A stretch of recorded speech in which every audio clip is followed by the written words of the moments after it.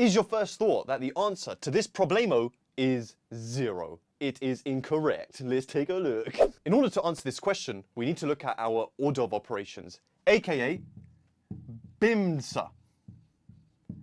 Now this tells us that we need to address brackets first, then indices, multiplication and division, these can be done together, and subtraction and addition. Now in this case, we have a subtraction, and then we have multiplication.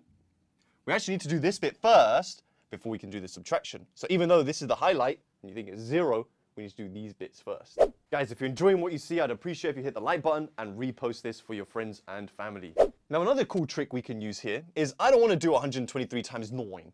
I notice that this negative creates two separate terms. So I'm actually going to use some cheeky algebra here and use some factorization. I see a 9 in both of these two terms. I'm going to factorize out the 9 and introduce a bracket and say what's left. If I factorize out the 9, I'm left with 123 subtract 23.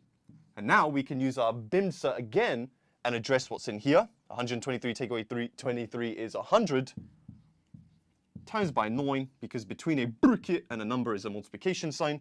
And there's our answer, 900. How many of you guys got that straight away? Nice.